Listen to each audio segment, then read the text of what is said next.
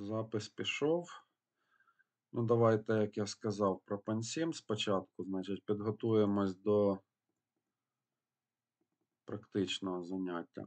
Значить, на практичному занятті на лабораторній я вам всім роздав е, файл от такий Wing21in. Я його відкриваю за допомогою блокнота. І що у мене тут в цьому файлі? Це поки що. Значить, е, структура файла коротко. Те, що я розказував вам на занятті. Перша строчка, коментар. Тут пишемо, наприклад, що це там якась лабораторна робота номер один. Будь-що пишемо. Далі йде пара строчок з керуючими індексами. Е, їх значення я повторювати не буду. Е, ось тут е, є файл мануал у вас у всіх в папці в каталозі Pansim Help. Є manual UA перекладений. Тут не весь, тут є російськомовний мануал. І я його не весь переклав, тому що ну, там не, не було часу, і ту частину, яку я не переклав, вона нас поки що нам не сильно потрібна. Тому дивитеся цей PDF. І тут ось е, буквально на початку цього PDF є е, введення основних керуючих даних для розрахунку. І ось є перелік всіх цих параметрів, і які вони можуть приймати значення. Для кожного параметру виділяється по три позиції. Саме тому ця велика літера на кінці кожного параметру означає ну, якби межі, межі, в яких вноситься значення параметру. Оце сама велика неприємність е, Пансіму в тому, що структура файлу, цього розрахункового файлу, має бути дуже жорстка, і її не можна змінювати, тобто не можна якимось е, якоюсь директивою вказати, що це буде такий параметр, і от я його десь там посередині файлу ввожу. Ні. Всі, е, всі параметри, все задається в чіткому місці файлу, тобто його як шаблон використовувати доводиться. Ну, з одного боку, це е, складно спочатку для сприйняття, і часто помилки через це виникають, коли якісь зміщуються значення. От я сюди там пробілів наставлю, і все, файл не працює. Але коли до цього звикаєш, звикаєш працювати з пансім, то це навпаки якось ну, легше знаходити де що, і воно ну, якби стає вже не мінусом, а плюсом, можна сказати. Далі, друга строчка, ну, друга пара строчок. Це загальні е, параметри об'єкту, які, ну, які моделюються. І теж ці всі параметри тут розписані. У нас е, ось вони йдуть е, пункт 1.1.5, тобто в мануалі почитаєте. Ну, коротко, що саме головне, саме важливе, це ось площа крила, ось цей параметр СК, площа крила. Його е, обов'язково треба стежити за ним, щоб вірні значення коефіцієнтів отримати потім по розрахункам. Е, хорда крила, е, середня аеродинамічна хорда крила. Що це таке? Ми ще на лекціях про це поговоримо. У нас поки що прямокутне крило завжди моделюється в наших лабораторних, тому тут хорда крила ну, постійно по всьому розмаху. Питань не повинно бути. І подовження крила. Відносне подовження крила. Е, в кожній лабораторній я розписую, що це за параметр. Е, да, співвідношення квадрат розмаху до площі крила. Або якщо це прямокутне крило, е, звичайне, да, з постійною хордою, прямокутник, то це просто співвідношення розмаху до хорди. Далі все, що тут є, це нас поки що не сильно стосується, хоча ви вже знайомі тут з параметрами оціми двома. Це параметри, які задають е, ну, характеристики е, цих е, струмочків е, току за крилом. Якщо візуалізацію зробити пилини да, е, за крилом, то от можна задати їх елементарні діляночки, розмір і е, довжину, всю довжину пилини. Тобто, це ось ідуть такі дві загальні, ну, дві пари е, строчок з такими загальними параметрами. Далі, ось починаючи з цаги 6.12 і закінчуючи. Так, а щось у мене цей файл дуже коротенький. Ну, у вас був. А, у нас цей 21, по-моєму, він щось у мене да, не працював. Я вам, по-моєму, казав. Щас, пардон. Е, було в Models. Просто Wing, да, по-моєму, я вам давав. А ви всі мовчите. Чи який я давав? Чи це у мене просто підредагований уже цей 21? Ну там в якому файлі було е, багато-багато різних профілів, скажіть мені, нагадайте. Ну, багато багато різних профілів було, ніби він. Ну, просто він там було. Точно не пам'ятаю, ви просто скидали нам його в групу. Та отож да, скидав, а я просто. У мене це різні ноутбуки, і тут на цьому ноутбуці. Ну, давайте я візьму просто Wing. Да, давайте цей. Да, 20 е, Вінг, е, мабуть, ін. От просто Wing. Зараз я передивлюсь, точно скажу. Просто Wing. Да, мабуть, що він. Тут скільки? Да, Да, він, да, да, просто да, він. да. Просто він, да. Точно. Бо там він 21 якась була помилка, я не захотів її шукати, гаяти час. Точно, перепрошую тоді. Трошки підзабув за два тижні. Ну, от Wing. Е, значить, ну, все те ж саме. Файл такий самий. Тобто ми пройшлись ось ці е, строчки. Да, і далі, починаючи з профіля GOE 239. І закінчуючи, закінчуючи, от дивимося, де у нас іде він годин, да? І от, значить, закінчуючи ось цим NACA 2414. Це все у нас задані різні профілі. От якщо я це все отак виділю, цей блок, це у мене йде набір різних профілів аеродинамічних, які я ну, для чогось там сюди задав. Я їх показував студентам порівнював їх характеристики. Ось. Е, Далі у нас іде після е, після профіля йде саме крило. Ось цей блочок синім виділений. Це блок, який задає параметри крила. Про профілі ви в минулому семестрі ви е, задавали аеродинамічні профілі. По суті, вся, е, ну, якби вся робота з пансім у вас зводилась в основному до того, щоб навчитись задавати ці профілі е, різними методами, залежно від того, в якому форматі дані ви берете з інтернету чи з якоїсь книжечки. І от пункт 1.2 в мануалі можете ще раз перечитати, згадати, як саме ви задавали, якими способами задавали е, аеродинамічні профілі. Ну, насправді, три способи є. Я коротко вам їх е, нагадаю по тим профілям, які тут у нас є.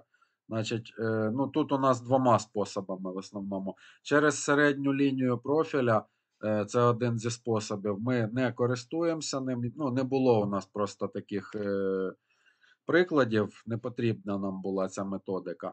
Але було дві, е, дві таких методики. Це От перша із них е, задається нульовим індексом IB дорівнює нулю. Значить, це спосіб, коли ми задаємо координати по X, е, тобто по хорду розбиваємо на якісь діляночки. Да? І далі координати Y для верхнього контуру і координати Y для нижнього контуру профіля. Тобто задаємо точки е, по X спільні, а по Y, відповідно до цих точок е, з координатою X, маємо координати Y верхнього контура, Y нижнього контуру. І е, другий спосіб, який ми використовували, це коли ми задавали от IB дорівнює двійці.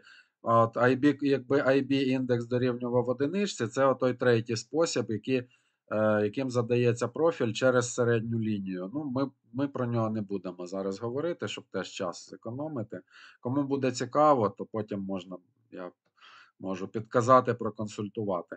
Але е, те, що найбільш поширене, це от той перший спосіб, і тепер другий спосіб, коли задаються окремо координати по X і координати по Y для усього профіля. Тобто повністю весь контур профіля, якщо його так намалювати, намалювати профіль, то е, візьмемо червоний колір. То ми починаємо від хвостика. Перша точка у нас іде. І пішли ось друга точка, третя точка, четверта і так далі. і так далі. Скільки нам потрібно точок для того, щоб обійти весь контур, весь контур профіля, і ми приходимо знову в цю першу точку. Тобто остання точка N. Це буде та сама, вона буде співпадати з першою точкою, якщо е, хвостик профіля гострий. Але бувають у профілів такі е, притуплені хвостики, і тоді верхня ця остання точка N буде тут, а перша точка буде ось тут. Тобто вони можуть бути роз'єднані між собою. Але е, ну, що тут саме важливо? Ну, для кожної точки координати X і Y. І так далі. X і Y. Свої координати.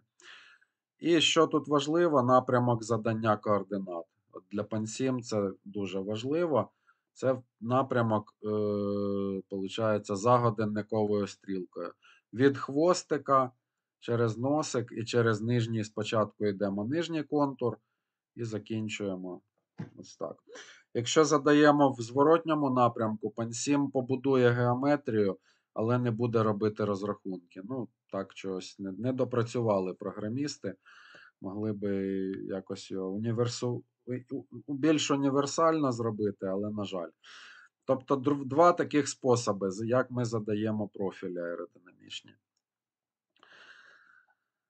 Отже, коли ми задали, е, скільки нам там, ну, нам треба як мінімум один профіль, щоб задати крило, щоб створити об'єкт типу крило. Як я вже казав, е, профіль це абстрактна геометрія, тобто він ну, плоский, він не має товщини, його не можна задати, його не можна дослідити у просторі. Тобто, ну, це не об'єкт е, матеріальний, це така от абстрактна геометрія, яку ми використовуємо вже безпосередньо в об'єкті такому матеріальному в дужках чи в лапках. Е, Це, як приклад, е, крило. І от е, для крила ми задаємо, як ми задаємо крило? Ми задаємо за допомогою як мінімум двох перерізів. І ось е, перший переріз, його параметри задаються. Далі оця порожня строчка.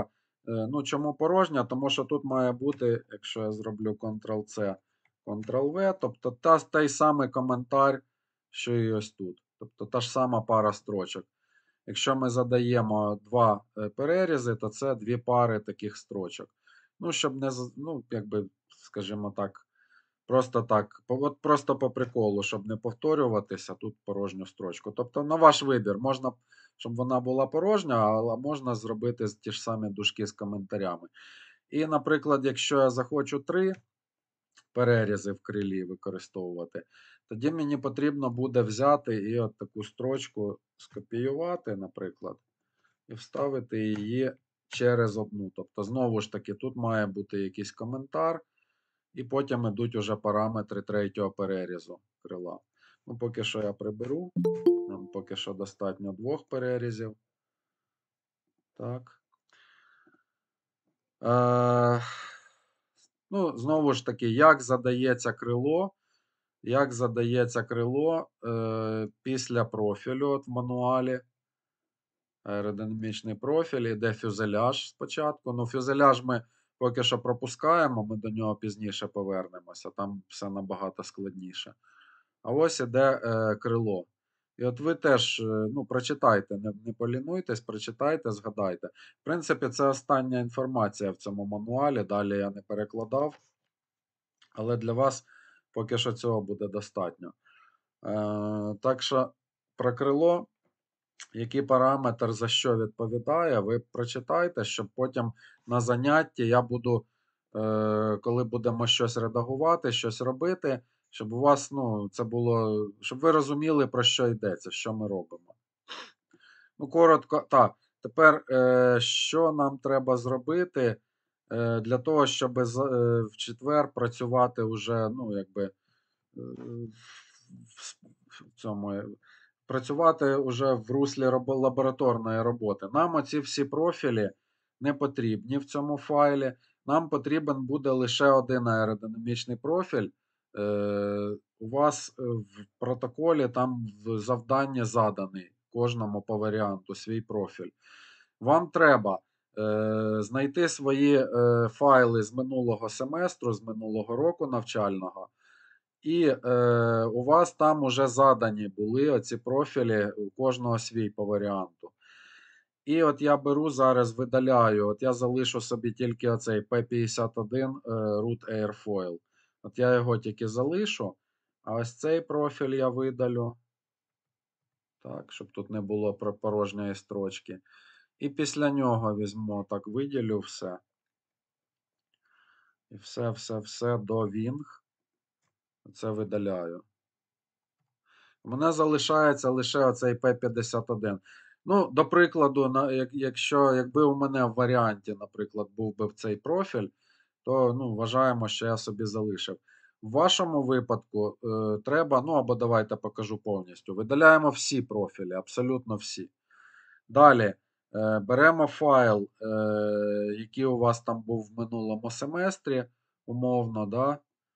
Ну, от я відкриваю якийсь файл, вважаю, що це мій попередній, з попереднього семестру файл.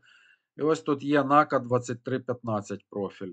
Будемо вважати, що цей профіль у мене був е, в заданні, завданні моєму да, в минулому семестрі. Я його копіюю з цього файлу, відкриваю знову свій файл, цей Wing. І сюди перед, перед оцим блоком Wing і після цієї пари строчок з параметрами об'єкту, да, вставляю сюди цей NACA 23015. Ну і можна тут таке, якби ще доповнити е, такий коментар. Робочий профіль. Відповідно до завдання. Лаб роб, роботи номер один. Тобто ось цей профіль, да, я сюди його додав. Тепер що мені треба уважно е, подивитися і зробити? Номер профіля ось тут стоїть двієчка, але у мене в цьому файлі я видалив той профіль, всі ті профілі, які були, він у мене один єдиний. Я замінюю на одиничку. І ось тут е, в своєму крилі, якщо я буду використовувати NP номер профіля для перерізів 8, то в мене нічого не буде, да? бо немає такого профілю в файлі. Я ось тут поміняю на одиничку і один, і другий переріз. Ось, власне, е, як вам треба підготувати свій файл до, е, до роботи в четвер. Тобто кожному взяти флешечку, е, на, дома на комп'ютері підготувати ось так свій файл, тобто вставити профіль з минулих, е, ну, з завдання, да, з минулих робіт. Тому що е, у вас в цих е, протоколах зараз. У вас в цих протоколах завданні е, оці от е, найменування, ви подивитесь, вони залишились. Це один з тих трьох профілів, який вам був заданий в першій роботі в минулому році. Тобто ви його собі вже створювали, ви його вже задавали, і ви вже робили Але у нас там трохи е, цей е, список групи змінився. Чуть-чуть. Там вже у нас е, додався новий студент. Візьміть, візьміть так, як у вас було в минулому А, ну, добре. завдання, візьміть е, по старому, ну, по старим варіантам.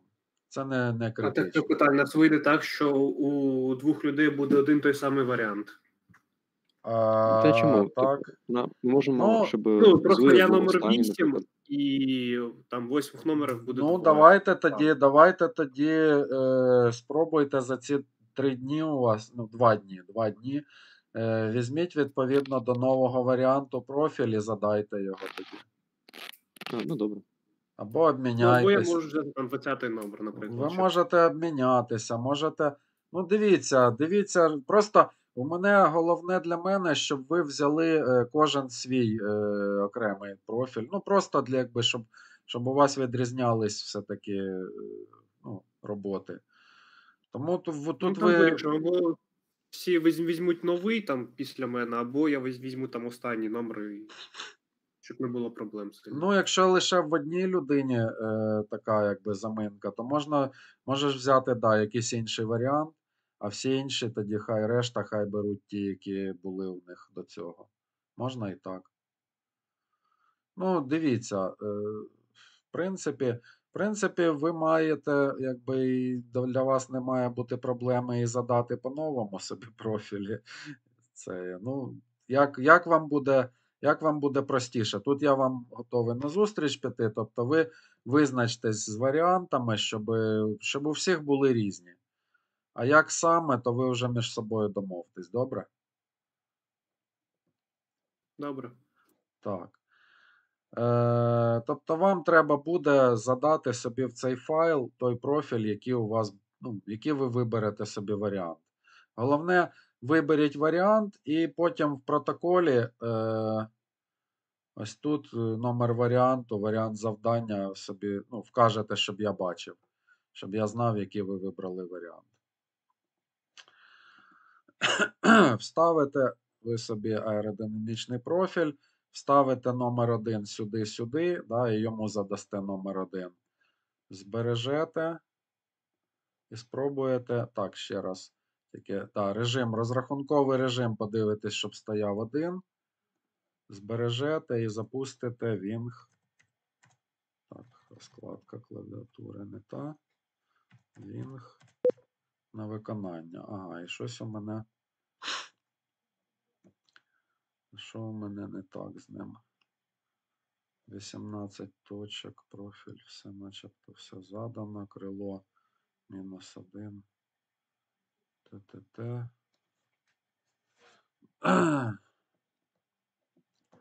Так, що я тут уже напортачив? Режим один лише, один, все нормально. Е, Розбивка. Раз, два, три, чотири, п'ять, шість, шістнадцять. Може я щось.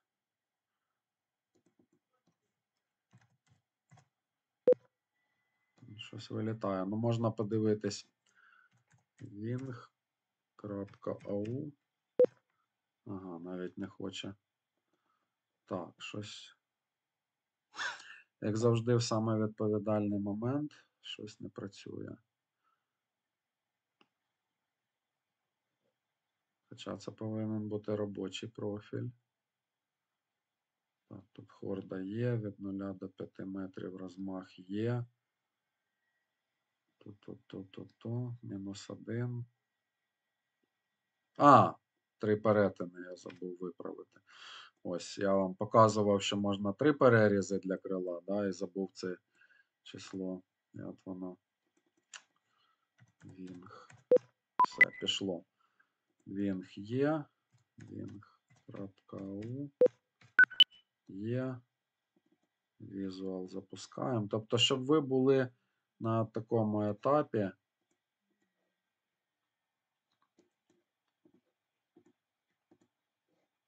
І ось мій, моє крило задане оцим профілем. Ну, половинка крила. Половинка крила задана за допомогою профіля е, P51 root. Хоча щось він на нього не дуже і схожий. А, root, можливо, там в корені крила якийсь був трошки інший.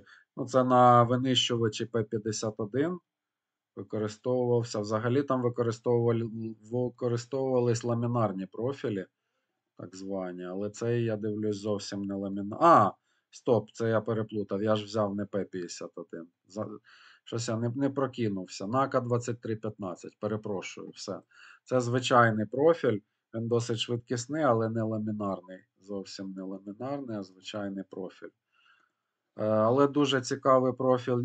Чим? Тим, що, е, якщо подивитись дуже велику кількість американських літаків, починаючи з винищувачів Другої світової війни часів, і закінчуючи е, вже післявоєнними бізнес різними бізнес-класу літачками, е, типа там Цесни двохмоторні, потім е, Beechcraft літачки двохмоторні, то у них практично ну, дуже велика кількість е, літаків використовує один і той самий оцей профіль НАКА 2315. Ну, у нього дуже оп- зоптимізовані е, характеристики, е, як несучі властивості, так і е, досить ну, невеликий опір на великих швидкостях, на великих числах Рейнольдса. Тобто, ну, досить велика аеродинамічна досконалість, і при цьому досить непогані несучі властивості. І він такий дуже-дуже популярний виявився профіль. Ось, ну, тобто вам треба підготувати свій файл, вставити е, свій профіль відповідно до варіанту, вставити, вказати, що це він, да, в цьому крилі, от, номер одиничку, і от, пересвідчитись, що все працює. Ну, якщо будуть у когось проблеми, будемо розбиратися вже на занятті, мабуть, я не буду зараз. Ну, або в е, Телеграмі напишете, е, то я там скинете, я подивлюсь файл, якщо не буде запускатись. Щоб ми в четвер уже працювали з цим файлом і е, ну, робили те, що в лабораторці я там придумав для вас. Так. Тобто, поки що по лабораторці все, по пансіму все. І на флешці цей файл не забудьте з собою взяти в четвер, щоб потім там з ним працювати. Ось. Е, питання якісь на цьому етапі є?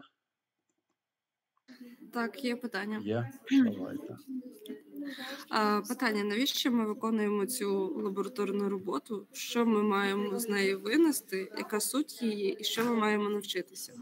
Е, Суть цієї лабораторної роботи полягає в тому, щоб ви е, ознайомилися е, з тим, як е, геометричні параметри крила, форма крила е, впливає на аеродинамічні характеристики. І винести ви маєте те, що потім, коли у вас буде предмет проєктування літаків, проєктування ла в наступному семестрі, ви будете проєктувати крило для свого літака, і щоб ви знали, як е, ну, підбирати параметри цього крила, оптимізувати його для того, щоб отримати ну, найбільш якісні характеристики вашого літака. Угу. А навчитись ми чогось маємо? Що що? А навчитись ми чогось маємо?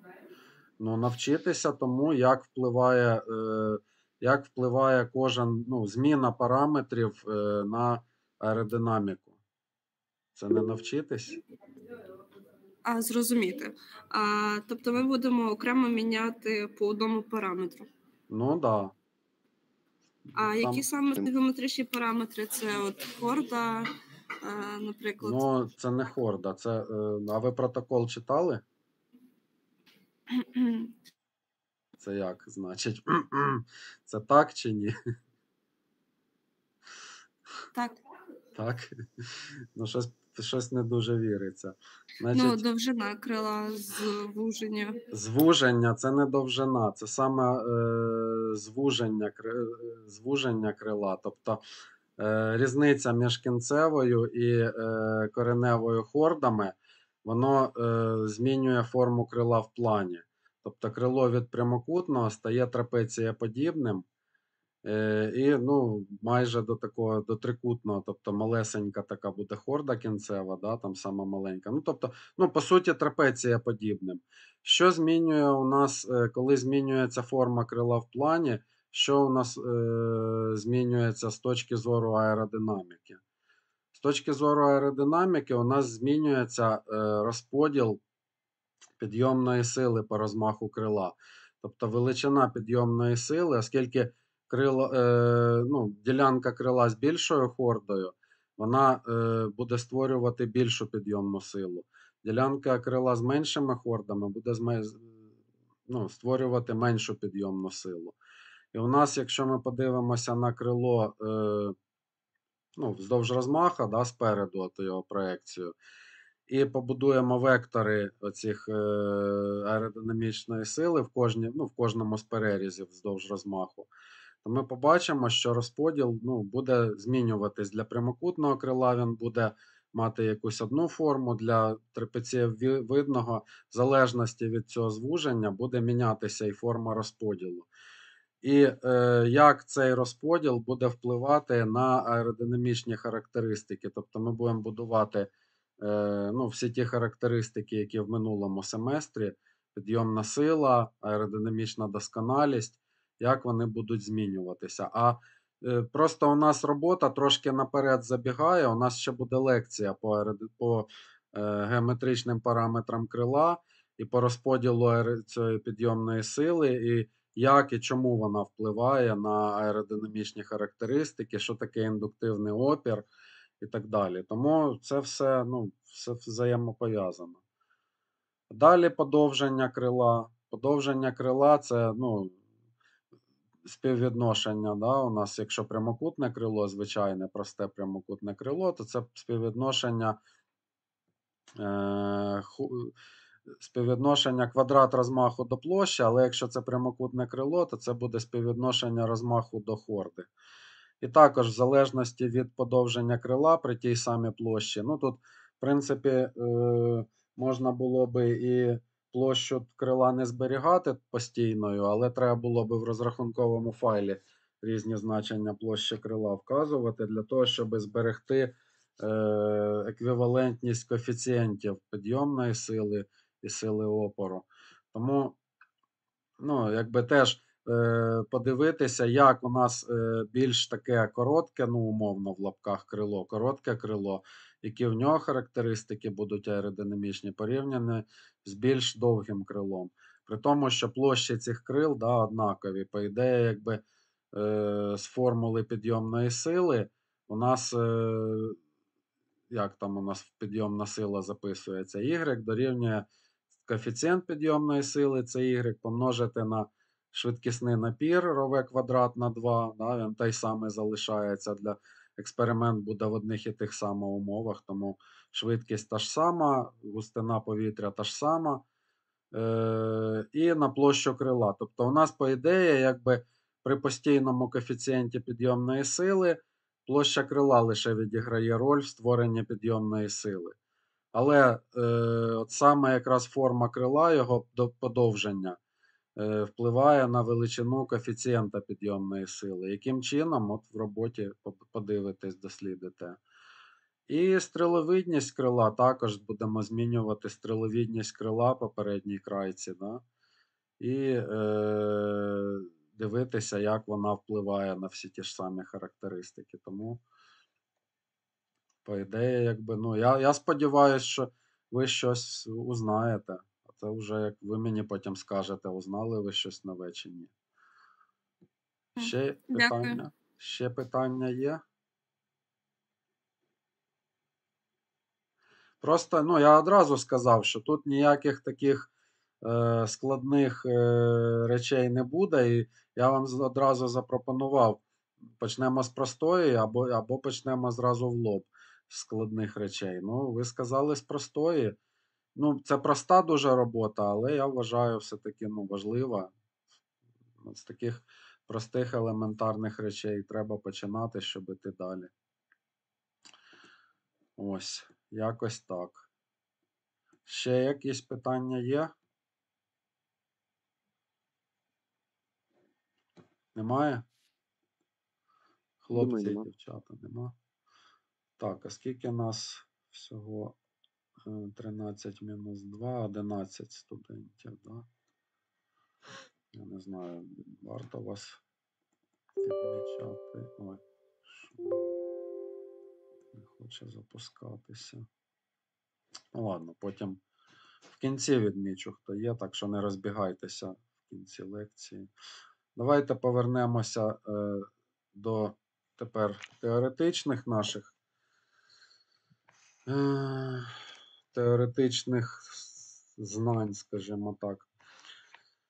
Е, екран видно мій? Не загубився мій екран трансляції? Добре. Так видно. Так, зробимо. Е, зробимо повний екран. Давайте я на пару слайдів назад відмотаю, щоб нагадати, що ми на минулому занятті там розглядали. Ми поговорили трошки про два типи, е, два режими течії е, рідин або газів. Е, Турбулентний, верніше ламінарний, коли у нас шари течії протікають паралельно одна одній один одному, верніше, шари, і не змішуються між собою. І турбулентний, коли відбувається таке завихрене, хаотичне перемішування шарів. Е, значить, поговорили, подивились, що таке у нас в'язкість, да, що у нас е, потрібно її враховувати при е, розрахунках, при дослідженнях, значить, в'язкість е, рідини, в'язкість газу. Е, тут роз, розглянули, що в нас є динамічна в'язкість і кінематична в'язкість. От саме кінематичною в'язкістю ми користувалися в коефіцієнтом кінематичної в'язкості, користувалися в е, розрахунках, коли е, там залежно від висоти польоту визначали підйомну силу в минулому році да, в роботі. То нас е, в таблиці стандартної атмосфери бачили, що кінематична в'язкість, коефіцієнт кінематичної в'язкості залежить від е, висоти, оскільки от з формули видно, що він залежить, співвідноситься з коефіцієнтом динамічної в'язкості е, через е, густину, масову густину. Е, А з висотою густина змінюється. От, е, динамі, коефіцієнт, динамічний коефіцієнт в'язкості він залежить в основному від температури рідини або температури газу. Тобто він теж змінюється, але не, не так сильно навіть від температури, він не настільки сильно змінюється, як сильно змінюється е, кінематичний коефіцієнт від густини. І з, е, з висотою, зі зміною густини повітря, він дуже сильно міняється. І е, чим рідкіше, е, чим е, більш густе повітря, тим менше значення коефіцієнта, і чим ми на висоту забираємося, повітря стає більш рідким, більш, ну, менш густим, і коефіцієнт значення його збільшується. Про число Рейнольдса поговорили трошки. Це параметр, який визначає, скажімо так, Ну, в принципі, він визначає стан течії, стан е, потоку е, через е, ну, критичне значення, так зване числа Рейнольдса. Тобто при критичному значенні е, потік переходить із одного стану, із одного режиму, з ламінарного в турбулентний. І при, е, в принципі, е, критичне оце значення, критичне значення числа Рейнольдса, воно в основному визначається формою е, того тіла, з яким відбувається взаємодія потоку. Тобто, при, е, ну, як правило, число Рейнольдса, воно визначається для якихось об'єктів, які обтікаються потоком. І оце критичне значення, воно визначається геометричною формою тіла. Е, Ну і відповідно для аеродинамічних профілів, для різних аеродинамічних профілів також існує критичне значення числа Рейнольдса, яке можна, ну, через яке можна визначити, е, за яких умов і на якій, скажімо так, ділянці, ну, в якій зоні, да, в якому місці е, почнеться перехід від е, ламінарного обтікання до турбулентного. А ну, про що я саме це сказав, як, як, переход, ну, як починається перехід, це ми ось, якраз поговоримо, коли познайомимося. Ну, ви більш зрозумієте, коли познайомитесь з таким поняттям, як граничний шар. Е, на всіх е, об'єктах, які е, взаємодіють е, з, ну, знаходяться в середовищі рідини або газу, взаємодіють з цим середовищем, утворюється, ну, коли починається взаємний рух е, одного, ну, наприклад, або газу відносно тіла, або тіла відносно газу, е, утворюється так званий граничний шар. Це така е, тонка, дуже тонка, як правило, зона, в якій е, відбувається, е, ну, скажімо так, дуже важливу роль відіграють саме сили в'язкості, сили тертя.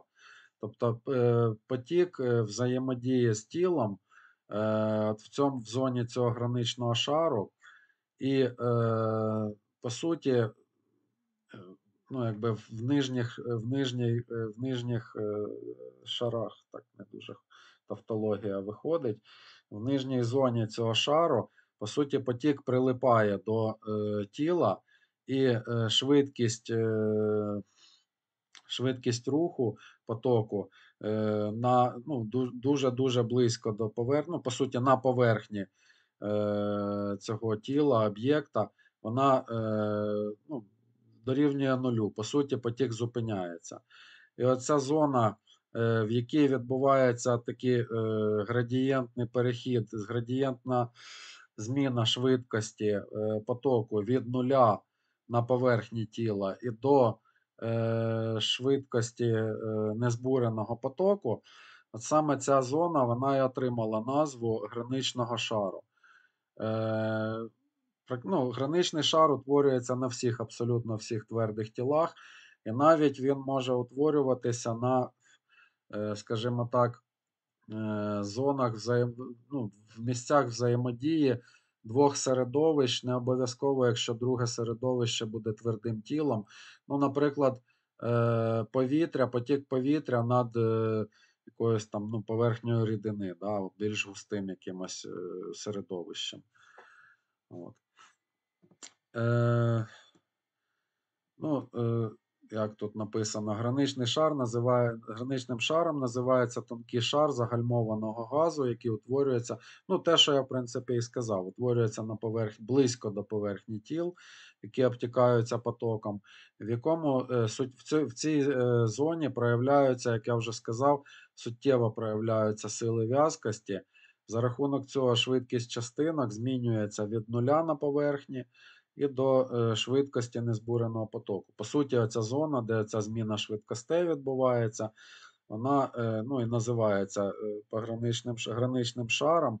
Це поняття було вперше введено в 904 році німецьким фізиком, аеродинаміком Людвігом Прантлем. Товщина, ну, що таке товщина е, граничного шару? Ну, якщо теоретично, то це, от, ну, як я вже сказав, з самого визначення да, виходить. Тобто, де е, швидкість змінюється до швидкості набігаючого потоку, то, в принципі, у нас і обмежується тією зоною да, товщина граничного шару. Але це тільки теоретично, тому що. Що? Є зауваження якісь? А, е, ні, просто питання було. Да, Ну, то, яке? А, чи залежить товщина цього пограничного шару від шорсткості поверхні літака? Звісно, звісно, залежить. Та я трошки далі, це ви наперед забігаєте. Так, і можна ще питання? Да. А, там сказано про незбурений потік, то граничний шар може утворюватися лише при ламінарному потоці. Е, ні, тут трошки, трошки ви жонглюєте поняттями. Він є завжди. Граничний шар утворюється внаслідок взаємодії двох е, різнородних, е, скажімо так, середовищ. Ну, це я дуже загальне визначення даю. А якщо просто, то при взаємодії тіла, якогось тіла ми поміщаємо, ну, наприклад, крило. Крило поміщаємо в потік, і на поверхні крила утворюється граничний шар. Е, фюзеляж просто, ну, теж в потоці. Також на поверхні фюзеляжу також утворюється граничний шар. Така тонка плівочка, ну, умовно, в лапках плівочками. Ну, це не плівочка, це зона. Зона з особливою течією, так скажемо. А яка це течія, зараз далі розглянемо. Е, він може бути ламінарний, він може бути одразу турбулентний, турбулізований, і він може бути змішаний з зоною переходу. Це ми зараз про це далі поговоримо. От е, якраз на цій картинці знизу на екрані на фотографії показаний змішаний граничний шар. Тобто це чорне внизу, це якась поверхня, наприклад, е, поверхня пластинки плоскої, яка в поток, е, ну, в потоці розміщена. Потік, судячи з такої, ну, візуально з цієї фотографії, скоріш за все, це якась рідина. Ну, може бути вода, може бути щось більш густе, як правило, там яке-небудь. Ой, щось. е, Ну, коротше, ну, неважливо, рідина, будь-яка рідина. Е, і ось ми бачимо, що до певної, е, до певної на певній ділянці початковій у нас потоки не змішуються, да? от вони паралельні, такі от ламінарні, явно виражена ламінарна течія. І потім починається така от зона, невелика зона переходу, відносно невелика. І е, далі у нас уже потік, е, ну так, візуально, якщо так здалеку подивитися, то явно турбулізований, чітко турбулізований потік. От саме в цій е, зоні, да, де от далі, от вище над цією зоною, у нас ніяких візуальних таких ну, немає не, ну, ніяких завихрень, нічого. Тобто далі, от у нас е, на певній відстані від тіла, у нас іде незбурений потік потенційний потік, як ми його називали, коли дивились на спектр обтікання, потенційний шар, так званий. Ну, от на цій картинці, до речі, так схематично продемонстровано. Також профіль крило в потоці. Да, і от оця ось зона така, ну тут дуже товсто схематично вона зображена. Це граничний шар. А може ось- запитання Да, да. про граничний шар? Дивіться, виходить так, що будь-якого будь-яке тіло, якщо ми помістимо його в потік, Так. то будь-які точці цього тіла, тобто на поверхні цього тіла, буде у нас утворюватися цей граничний шар. Да, від самої початкової точки зустрічі потоку з тілом, да, і по всій довжині. А якщо, у нас буде тіло якось, Ой, один хтось говорить. А якщо у нас буде тіло якось неправильної форми, там якісь, е, ну, не крило, наприклад, а там якесь, не знаю, там якесь дерево, ну, да, наприклад, куля, то ось е, ми поставимо кулю в потік, і виходить, що навіть е, в протилежній точці до точки, скажімо так, першого контакту, Так. також у нас буде приграничний шар, так? А Що значить протилежна точка? Ну, наприклад, ми беремо наш е, шар, ставимо його в потік, і в нас виходить, що якась частина буде прям, скажімо так, заход... е, потік буде ударятися ось так, так. Ось ця Да. точка, там, яка буде протилежна, ну, е, ні, ні, Ну, дивіться. так, Е, гра- Граничний шар він е, прилипає, да? ну, якби йде вздовж тіла, але в певній точці при певних умов він може відриватися. Ми про це теж ще поговоримо. а, все, ну, якраз все хотів дізнатися про те, що будь-якій точці. Ви дуже, дуже нетерплячі, і я дивлюсь, ви мені завжди задаєте питання наперед. Це, дуже... Ну, це добре, це значить вам цікаво. От, але ви дуже поспішаєте і наперед питання задаєте. Так, да, граничний шар він може відриватися. І це проблема, насправді. От. е, І навіть ось ця картинка, да, тут у нас е, граничний шар він відірваний. Тобто це критич... вже за критичне обтікання е, крила, зрив потоку з крила, так званий, утворюються такі дуже інтенсивні вихорі. І у нас, по суті, граничний шар тут лише на носику прилипший до. Далі, вже починаючи з ну, зони, скажімо так, максимальної вигнутості, десь ось тут уже починається його відрив. А чому? Це давайте трошки згодом. От давайте, до речі, да, ще на цих фотографіях, отут була пласка, да, пластинка, пласк, плоска поверхня, і у нас е, ну, цей граничний шар, перехід утворюється від е, ламінарного режиму до турбулентного.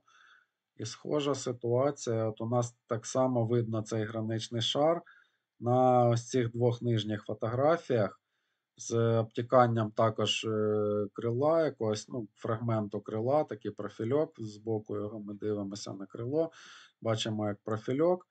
І теж бачимо, що у нас, е, починаючи від е, носика, е, іде ось цей більш-менш такий ламінарний да, цей шар. Ну, не більш-менш, а ламінарний граничний шар. Далі йде його ну, теж перехідна зона і турбулізація. Турб, ну, якби, турбулентний він стає. Ми бачимо за рахунок оцих завихрень, що потік стає турбулентним.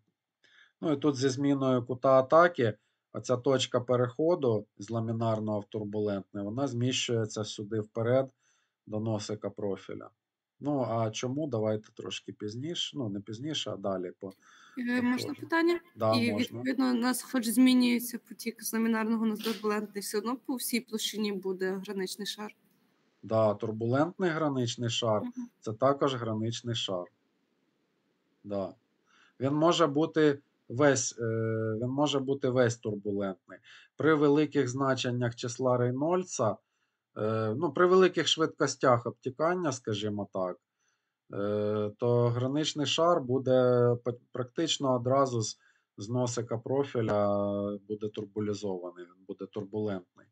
І турбулентний граничний шар насправді він ну, має свої е, плюси. Е, оскільки турбулентна течія, вона е, має, вона в собі несе більшу енергію, тобто ну, вона бере більшу енергію, вона потребує для свого виникнення більшої енергії, і як, наслідок несе в собі більшу енергію. І е, маючи цю більшу енергію, е, такий граничний шар є більш стійким, і він е, ну, має меншу тенденцію до відриву. Ну, але давайте, мабуть, це я вже трошки теж наперед забігаю. Спробую все-таки по порядку вам все розповідати. Ну, але ви все одно задавайте питання, якщо у когось виникають, щоб вам було, головне, щоб вам було зрозуміло, щоб я те, що я розповідаю, щоб я не сам собі тільки це розповідав. Давайте про товщину я трошки не договорив, оскільки товщину, е, як я сказав, е, шару теоретично ми визначаємо це е, швидкість від нуля біля поверхні і до швидкості незбуреного потоку, да, то е, ну, якби все ясно. Але насправді е, ця швидкість вона змінюється дуже-дуже, е, як це слово, ну, за, експо, е, за експонентою. Тобто вона наближається до значення цього незбуреного потоку, але де саме точка цього вирівнювання, її дуже важко визначити е, практично на практиці. І тому е, прийнято вважати, ну, різні є, правда, по-різному, ну, найбільш поширене визначення товщини граничного шару це е, від поверхні, там де швидкість 0, і до межі, де швидкість е, потоку відрізняється від швидкості е, ну, десь заміряного незбуреного потоку на 1%, не більше, ніж на 1%. Це таке, ну, якби практичне визначення. Ну, як ви бачите з картинки цієї знову ж таки фотографії, ну і цієї, і цих картинок, що товщина граничного шару вона не є постійною, вона змінюється. І е, у ламінарного граничного шару товщина, як правило, набагато менша, ніж товщина турбулентного граничного шару. Ну і також залежить від е, характеру самого турбулентного цього шару граничного, е, дивлячись, які вихорі тут, ну, яка енергія цього потоку.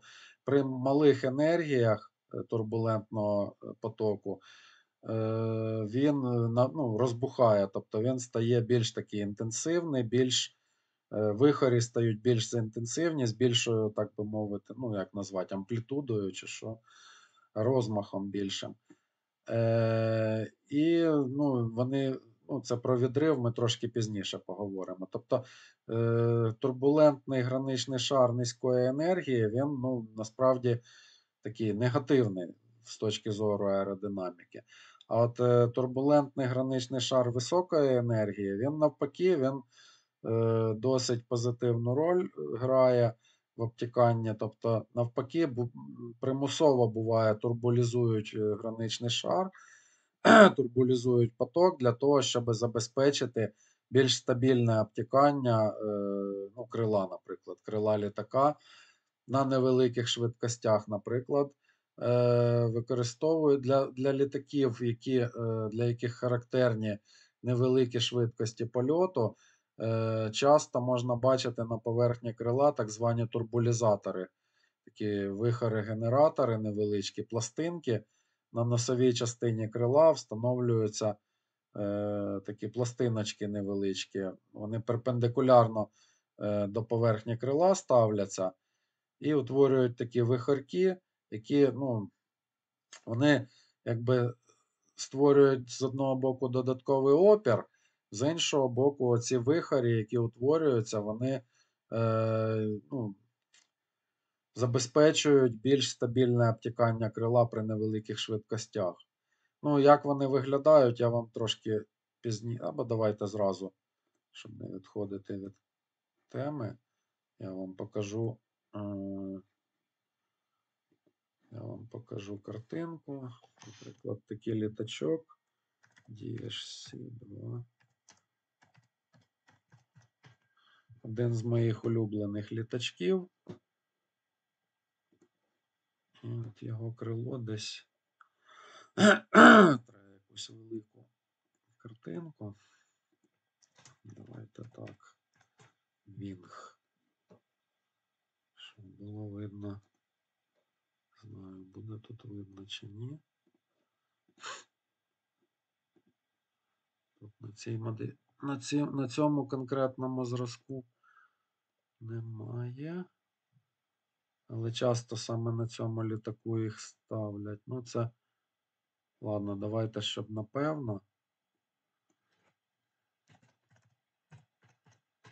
Давайте трошки інший літак.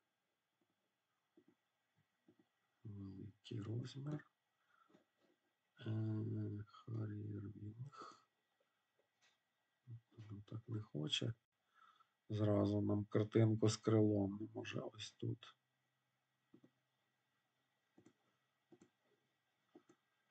Ну, тут так, не дуже це правда картинка, не фотографія. Це поки що закриємо. Ну, тут ідея в тому, що ось такі от пластиночки, тут вони зовсім малесенькі, а на цьому бівері, то вони досить такі бувають, ну, їх гарно видно. Вони також маленькі, але. А, їх гарно- Вихрогенератори? А? Як?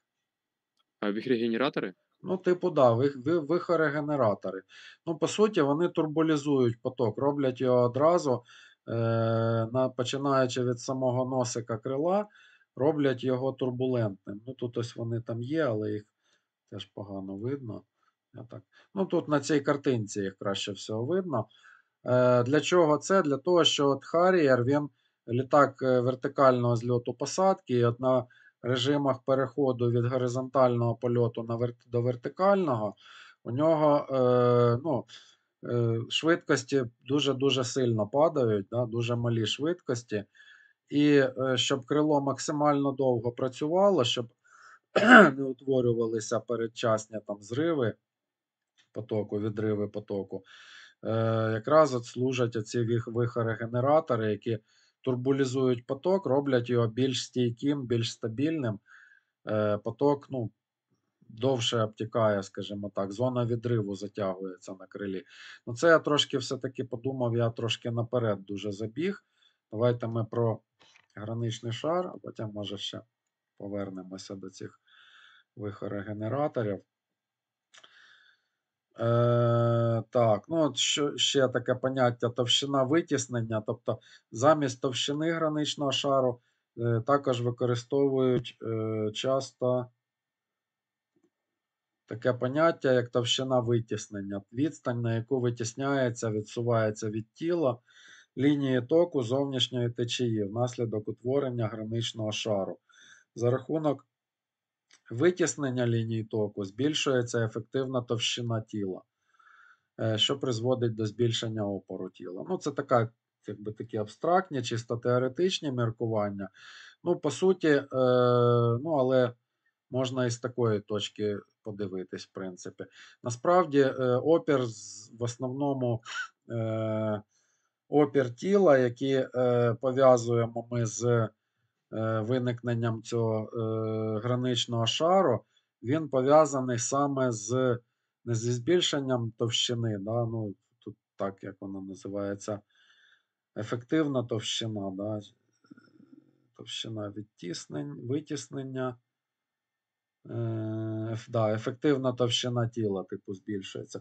Ну, насправді опір збільшується більш через е, саме явища в'язкості і як наслідок явища тертя в граничному шарі. Тобто тут важли, ну, головну ключову роль в опорі тіла, при, ну, в опорі руху, при, при русі тіла в середовищі, е, ключову роль відіграє саме тертя між е, шарами, ну, між, між е, ну, підшарками цього граничного шару. От, е, значить, відповідно до характеру Можна те, питання? да, можна. Так, тобто ця товщина, вона чим більше буде нас товщина граничного шару, тим е, е, літак буде гірше літати. Ну, якщо просто. Ні, тут, е, ну, тут такого якби такого зв'язку немає. Т- е, Не, зовсім в тому річ. Тут товщина шару граничного визначається характером потоку в граничному шарі.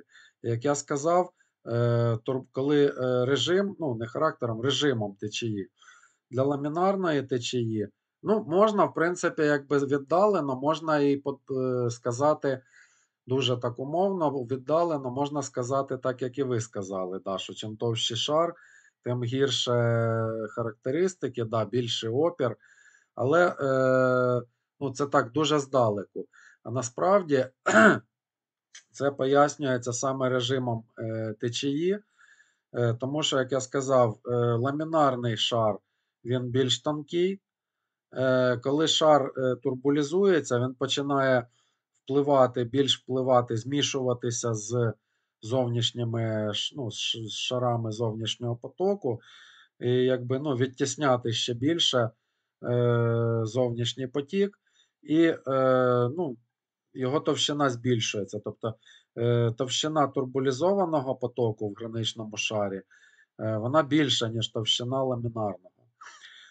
І тут є така певна особливість, що е, тертя, це в'язке тертя в турбулентному, в турбулізованому потоці, воно більше за рахунок того, що е, у нас тут, коли ми дивилися на е, силу е, тертя да, е, між шарами, е, вона пропорційна швидкості і зворотньо пропорційна е, відстані між шарами. Коротше, е, пропорційна градієнту швидкості, тобто зміна співвідношення швидкості до, ну, до координати їх, до товщини шару. І е, оцей, оці градієнти швидкості е, між е, шарами, між, е, ну, не шарами, а між потоками, між струмочками току е, в турбулентному е, при турбулентному режимі, е, вони більші. Тобто різниця між е, швидкістю двох е, сусідніх, скажімо так, струмочків, ну, вони рухаються, по-перше, хаотично, да, і зустрічаються, також можна сказати, хаотично між собою. І відповідно, їх навіть вектори швидкості будуть ну, різнонаправлені. І відповідно, якщо зробити зріз, то е, різниця, цей градієнт швидкості, він буде ну, дуже сильно коливатися. І відповідно сили тертя будуть більше в'язкого тертя, с- е, в турбулентному потоці, ніж в ламінарному. Ламінарний потік е, ну, буде якби, мати менші сили тертя, ніж турбулентний. І відповідно. Е, Відповідно, і опір, який буде обумовлюватись цим тертям, він буде більший. Тому е, опір турбулентного е, при турбулентному режимі граничного шару він буде більший. Ну і відповідно, і опір літака, да, який обтікається більш товстим турбулентним граничним шаром, так, опір цього літака буде більший, ніж опір літака, у якого по більшій частині поверхні буде ламінарний граничний шар порівняно там з тим другим літаком. Угу, дякую. Так. І е, про, е, давайте про режим е, в самому граничному шарі. Да, я вже це сказав. Ну, от більш така якби схематична, наглядна картинка. Е, відповідно до характеру течії в граничному шарі може бути або ламінарним, повністю може бути ламінарним. Якщо це якась невеличка пластинка, наприклад, розташована вздовж потоку, і е, число Рейнольдса, е, яке буде, ну, враховуючи довжину пластинки максимально, ми порахуємо, використаємо довжину пластинки як характерний лінійний розмір у формулі для розрахунку числа Рейнольдса. Да, ось тут довжина пластинки буде, швидкість потоку буде е, невеликою, ну і відповідно якась, якесь значення в'язкості, при якому число Рейнольдса для цієї е, ну, Трошки, мабуть, тро- трошки сам себе заплутав. Коротше кажучи, що при невеликих якихось значеннях, е, ну, число Рейнольдса може бути докритичним для цієї, скажімо так, для цієї форми в цій, в цій рідині. Ну, наприклад, для плоскої пластинки в е, повітрі, здається, там 2, ой, 10, е, да, 2 на 10 в п'ятому ступені, щось я таке пам'ятаю, експеримент, з експериментальних якихось там досліджень. Е, критичне число Рейнольдса становить 2 на 10 в п'ятому ступені для нормальних атмосферних умов для плоскої пластинки. Тобто на певній ділянці, де число Рейнольдса, якщо ми от закладуємо характерним розміром лінійним довжину, то е, на е, початковій ділянці буде, наприклад, десь до певної зони буде ламінарний потік, і потім, коли значення лінійне нам дасть оте критичне число Рейнольдса, ну, умовно, це все насправді умовно, теоретично.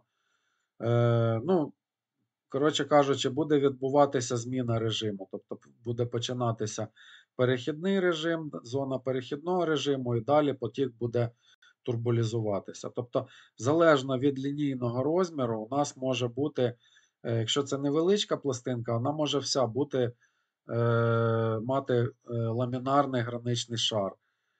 Е, якщо це якесь е, дуже, ну, е, російською мовою удобо обтікаєме тіло, а як українською, ну, Зручно обтікаємо. Зручно оптічне, да, чи яке там тіло. Коротше, яке має дуже гарну таку аеродинамічну форму, е, якийсь такий профільок красивий, симетричний.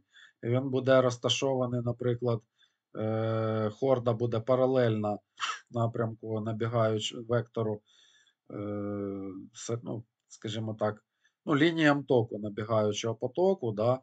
І при невеликих значеннях чисел Рейнольдсу, знову ж таки, при невеликих характерних розмірах і при невеликих швидкостях обтікання, потік може, е, граничний шар може бути е, повністю ламінарним навіть і для е, ну, профіля аеродинамічного, тобто не тільки для плоскої пластинки. Ну, е, як правило, для кульки в потоку, там, е, ну, можливо, якщо якась дуже в'язка рідина, то теж можна десь потримати повністю ламінарний граничний шар, але, як правило, там уже все ж таки за рахунок форми, от саме форми, е, перехід, е, критичні значення числа Рейнольдса будуть менші.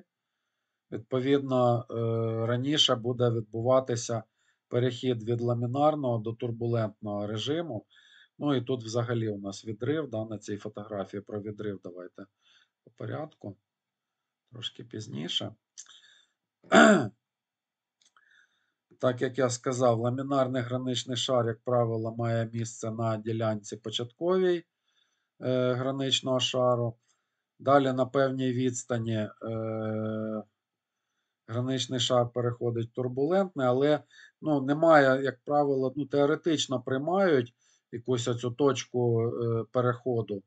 Називають, буває, точкою переходу. Тут на цій схемі, до речі, її немає. Тут більш е, реально зображено. Тут зона переходу, transition. Зона, де е, частина потоку ще ламінарна, а частина вже тур... ну, рух починається більш хаотичний, з завихреннями. І далі переходить уже в турбулентну зону от, на цій ділянці. Е, причому навіть е, в зоні турбулент... да, ну давайте про розподіл швидкостей е, в граничному шарі. От як я говорив, у нас граничний шар, да, саме визначення його це е, такий шар е, в зоні взаємодії тіла з середовищем, в якому змінюється швидкість е, цього потоку, який обтікає тіло, від нуля на поверхні тіла до е, швидкості ну, приблизно рівній швидкості потенційного незбуреного потоку. І от у нас тут такі векторні діаграмки е, для швидкостей зображення. Е, перед взаємодією з е, перед виникненням е, граничного шару у нас по всьому перерізу, да, перед носиком, перед носиком пластинки, швидкості рівні. Ну, потенційний потік набігає, да, не. І далі в зоні ламінарного граничного шару у нас от спостерігається такий розподіл, такий градієнт швидкостей, ну, близький до параболічного, насправді він навіть більш такий, більш крутий, е, тобто ну, більш інтенсивно трошки по відношенню як до параболи змінюється ця е, швидкість. Від швидкості ну, умовно набігаючого потоку. Ну, тут він трошки е, так винесений трошки вище. Да? Ну, ну, в принципі, тут в цій зоні якраз і буде швидкість незбуреного потоку. І далі е, спадання такий, ну, близький до параболі, е, така характеристика. В зоні турбулентного потоку тут оці е, швидкості насправді це е, усереднені швидкості потоку. Тобто сам потік він турбулізований, да, він закручений. Е, і е, місцева швидкість, вектор швидкості в будь-якій точці він може бути спрямований, в принципі, ну, взагалі якось навіть десь і проти потоку, десь там вгору, вниз і так далі. Ну, вихор. Да? Але е, середня швидкість самого потоку от в цій зоні, ну, якби, ну, така абстрактна, умовна середня порахована швидкість. І от розподіл цих середніх швидкостей він виглядає от таким чином. Тобто він більш такий ну, вирівняний, дуже близький якраз до швидкості незбуреного потоку, майже на всій товщині турбулентного цього е, ну, тур, турбулізованого граничного шару. Е, насправді тут швидкості менші, вони зменшуються, але е, ну, дуже-дуже так ну, майже, майже не відрізняються. На, там, ну, трошки більше, ніж на 1%, але менше, ніж там на скільки там. Ну, коротше, більше, ніж на 1% е, відрізняються, але дуже мало. І е, зменшення швидкостей відбувається вже в безпосередньо біля самої поверхні, йде більш різко. Е, і е, якраз оцей, е, оця зона, де відбувається зменшення швидкості, вона насправді навіть при турбулізованому потоці вона залишається, е, ну, та- також залишається такий ламінарний, ламінаризований підшарок. Тобто, по суті, у нас е, так, загальний вид цього граничного шару, він е, такий, що у нас є е, початкова е, ламінарна ділянка. Далі в зоні переходу товщина цієї ламінарної ділянки різко е, падає, і залишається зовсім зовсім тонка така плівочка, зовсім зовсім тонкий такий підшарок ламінаризований. Ось він називається е, viscous sublier, тобто е, в'язкий підшарок. Далі е, буферний, ну, умовно такий перехідний да, буферний прошарок і турбулізована зона. Тобто, по суті, у нас навіть в зоні турбулізованого граничного шару він неоднорідний і близько до е, стінки, близько до поверхні тіла, він все одно залишається ну, зовсім тоненький, але ламінаризований. Тобто оця от зона, де у нас е, є таке суттєве падіння швидкості, воно все одно залишається е, ламінаризованою. Ну, так, просто щоб ви уявляли собі теоретично структуру цього граничного шару.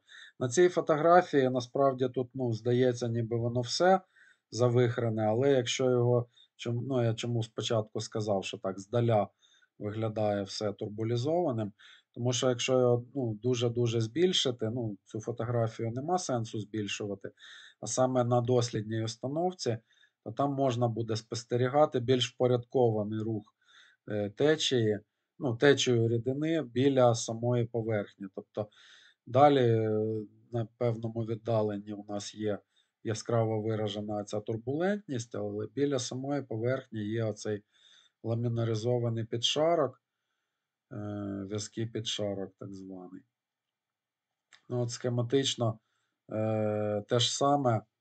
Ну, по суті, оця, ця діаграмка це схематичне зображення, знову ж таки, оцього граничного шару різнородного. Тобто є е, ламінарна ділянка. Далі, е, ну тут більш так схематично, без, без е, зони переходу, а одразу показаний е, турбулізований, турбулентний граничний шар, і зона його початку визначається координатою XKR, ну, критична, критична точка, так звана, точка е, переходу з, з одного режиму в інший.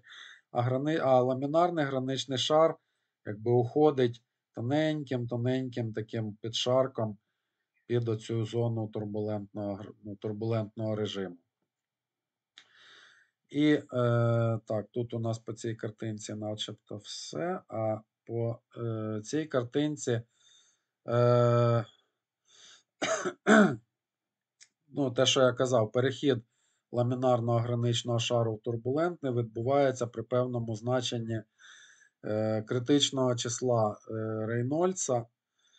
І е, це число Рейнольдса, ну, з його формули, да, там, де була формула числа Рейнольдса, число Рейнольдса визначається як швидкість, помножена на характерний лінійний розмір і поділена на кінематичний коефіцієнт в'язкості.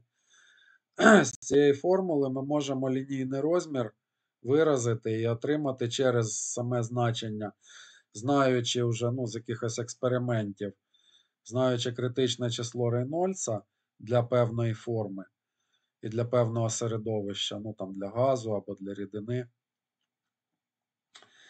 е, для їх взаємодії цих е, об'єктів, да, знаючи критичне значення число Рейнольдса, е, можемо визначити координату переходу цього критичної точки.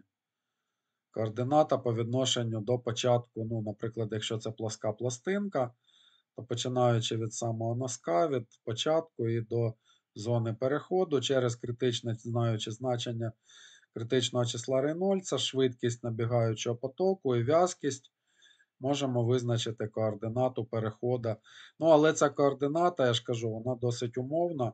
Це, в принципі, видно ось з фотографії. Да? Тут важко чітко визначити, де саме точка ну, чіткого переходу. Тобто ця ось зона, тут ну, така зона переходу е, ну, проміжна, якби. Тут важко визначити однозначно на цій ділянці, чи у нас граничний шар уже турбулізований, чи він ще більш ламінарний. Тому так, тут так, ну. Більше йдеться не про точку, а про якусь, про якусь ділянку, як на цій схемі. Ну, але приблизно умовно якось цю координату так можна вирахувати. Ну і е, товщини граничного шару наближено. Десь я ці формулки з якихось е, підручників був зустрів, взяв. Товщини граничного шару для ламінарного через е, критичну. Ну, верніше, тут е, число Рейнольдса по х, тобто е, залежно від е, координати. Тобто товщина, крити... е, товщина ламінарного граничного шару залежно від координати, ну і сама координата. Ну, число, число Рейнольдса залежно від координати, і сама координата тут відіграє. Ну і те ж саме для турбулентного, тільки тут різні коефіцієнти і різні корені. Тут квадратний корень із числа Рейнольдса, тут корень п'ятого ступеню. Залежно від швидкості потоку, товщина граничного шару. Е, ну, те, що я говорив, значить, ламінарний граничний шар це може бути декілька міліметрів, буквально там.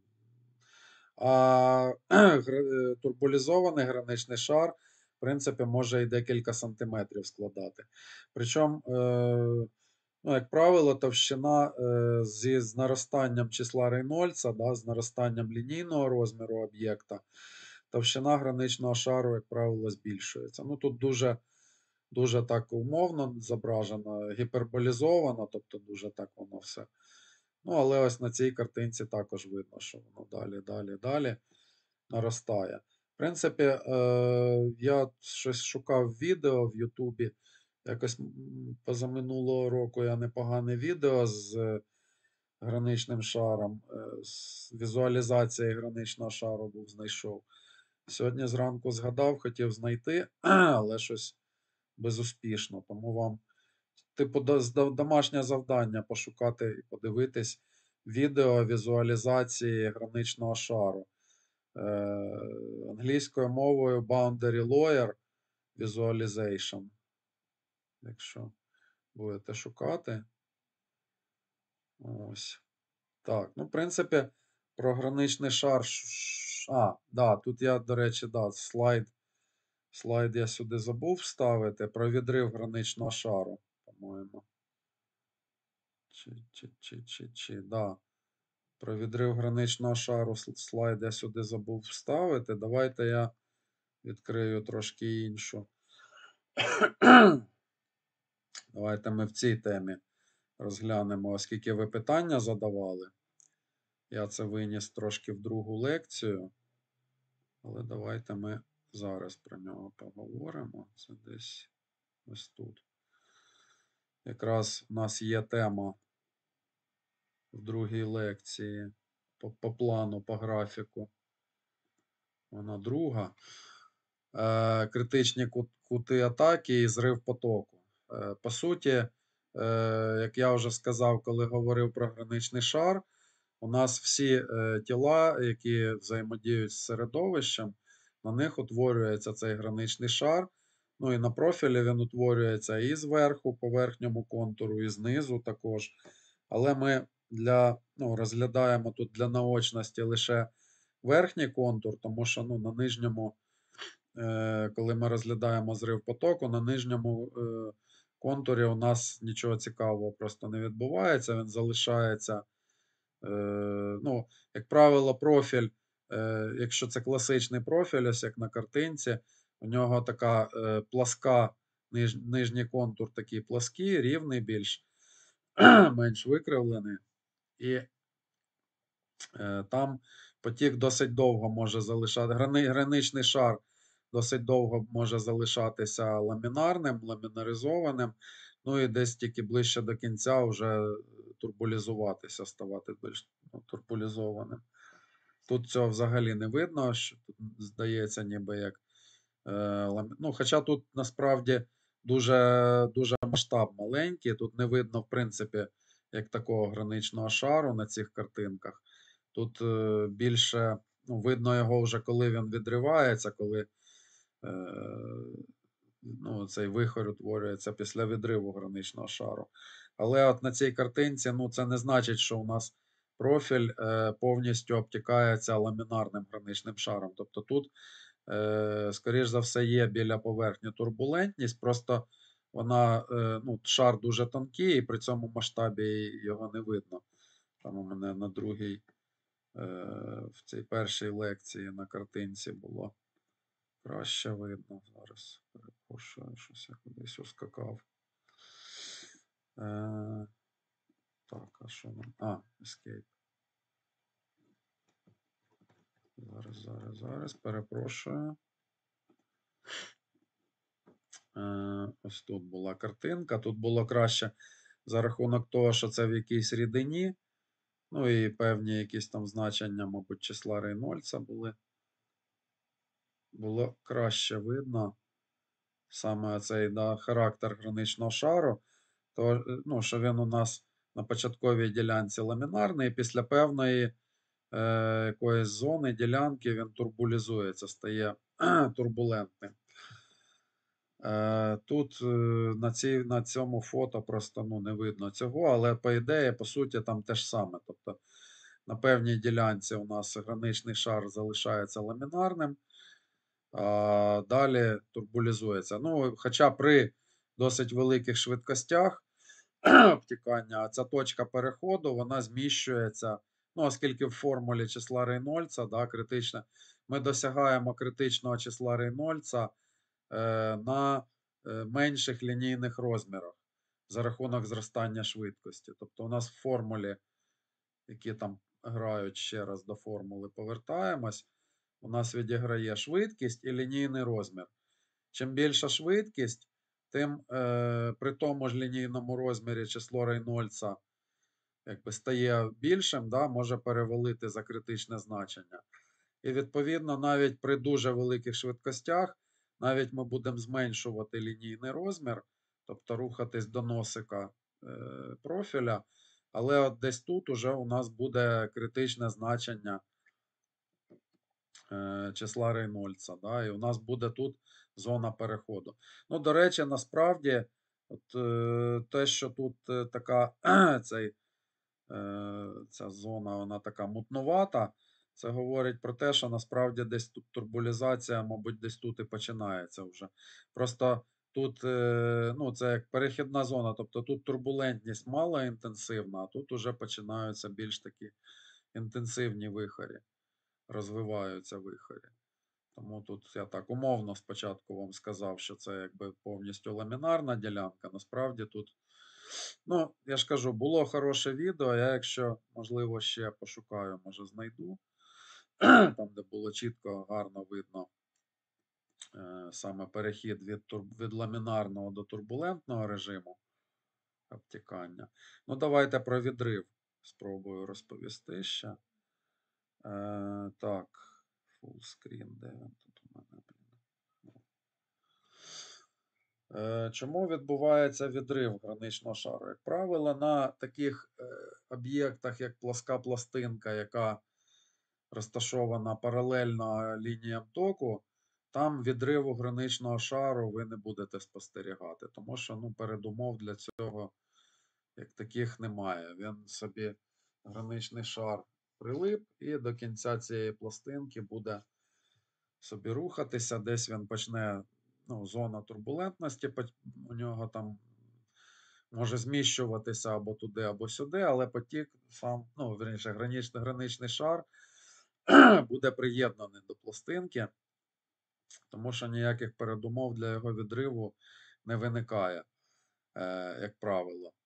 Е, Тому що там для того, щоб потік е, ставав, скажімо так, точка переходу зміщувалась вперед, нам треба збільшувати число. А, ну хіба що, хіба що, якщо у нас може бути е, дуже-дуже довга якась пластинка, дуже велика пластинка, пласка, і потік з е, рухом вздовж цієї пластинки просто буде тут він на початку ламінарний, потім він турбулізується, і потім цей турбулентний потік е, буде втрачати свою енергію за рахунок тертя з цим, е, ну, в цій зоні, да, тертя з об'єктом, оскільки у нас об'єкт е, в зоні контакту гальмує потік, і всі наступні ці прошарки гальмують один одного, і загальна енергія потоку поступово з, скажімо так, з ростом е, лінійного розміру, енергія потоку втрачається. Якщо немає ніяких додаткових підводів цього, ну, е, додаткового підводу енергії, то в принципі вихорі, ці вихорі, е, вони можуть, ну, вони будуть ставати все більш інтенсивними, тобто поступова складова руху буде втрачатися, потік буде гальмуватися, і з гальмуванням потоку буде виникати зону, буде, буде виникати е, зона е, е, зміни тисків, тобто тиск е, буде чим далі, тим тиск буде наростати з уповільненням швидкості потоку. І різниця тисків може е, обумовити е, зворотній ну, виникнення е, так, так званого реверсивної течії, зворотнього току. Ну, я трошки, трошки це, я трошки почав імпровізувати, почав розказувати, чи може це якби сам почав розмірковувати про плоску пластинку, що в принципі на ній також може утворитися відрив. Але давайте більш наглядно. Я, бо я без картинок да, просто розповідав. От давайте прив'яжемося до цих картинок, які у нас на екрані. І коли у нас не плоска пластинка, а у нас обдувається потоком аеродинамічний профіль. Аеродинамічний профіль. І о, в граничному шарі, який буде утворюватися на цьому аеродинамічному профілі, розглядаємо, наприклад, верхній контур. Е, у нас буде потік, наприклад, е, на початку там ламінарний, потім він буде в якійсь зоні перетворюватися на турбулентний, в зоні, де ну, число Рейнольдса сягатиме критичної величини. І далі буде оцей турбулентний потік, да, сходити з, е, ну, з, хвост, з хвостика профіля, умовно. Да? Е, без, е, без виникнення якихось додаткових умов, все буде чудово. Потік е, ламінарний цей шар граніч, граничний буде прилипший повністю по всій довжині контура. все буде чудово. Тобто енергії потоку буде вистачати для того, щоб не утворювалося е, цих е, протитечій, зворотних течій. Тобто потік, потік буде хоч і турбулізованим, в ньому будуть вихорі, але його, е, ота, як я казав, усереднена швидкість, тобто швидкість не конкретної точки е, цього турбулентного потоку. Е, тобто в, в, у вихорі в самому, якщо ми візьмемо якусь точку, безкінечно малий роз, е, об'єм, то він може рухатись десь і в протилежному напрямку в якийсь момент часу. Але Вибачте, будь ласка, тут, Да. Що? тут просто час підходить до наступної пари вже. А, ну давайте я тоді, щоб тут е, швидко закінчу. Тобто, у нас, е, якщо ми подивимося е, розподіл тисків по, верх, по поверхні профіля, то у нас, от ви в минулому семестрі, в минулому році робили лабораторну роботу, я вам там давав, моделювали цей розподіл тисків. І ми бачили оце розрідження, да, е, десь близько до носової частини. І потім воно спадає, ну, по абсолютній величині спадає, тобто тиск наростає, і навіть в хвостовій частині можуть утворюватись зони з, е, ну, вже з додатковим надлишковим тиском. І от, е, коли потік, е, коли потік, якщо подивитись в різних перерізах цього профілю е, ці діаграми швидкостей, то в ламінарній зоні оце параболічне розподілення.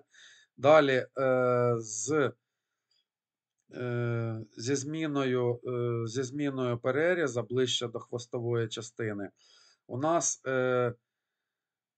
оскільки у нас біля поверхні, біля поверхні самого профілю швидкості будуть нульові, да, і там на невеликих відстанях швидкості теж будуть дуже невеликі, то на певній відстані, да, за, за рахунок е, різниці тисків, за рахунок цієї різниці тисків, тобто у нас тиск е, в цій зоні умовно, да, от велику зону візьмемо ближче до середини профіля і ближче до хвоста профіля. Тут тиск буде менший, тут тиск буде більший.